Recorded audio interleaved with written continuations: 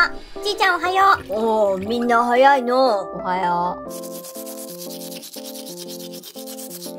う。なんじゃ、わしと同じ歯ブラシだったんか。それ使いやすいよな。この歯ブラシ、ここに一つしかないはず。ああ。義両親とご飯中。ん？バレちゃった？おならしちゃってごめんね。こいつ。おならしないでよ。ご飯中でしょ？くっさいんだから。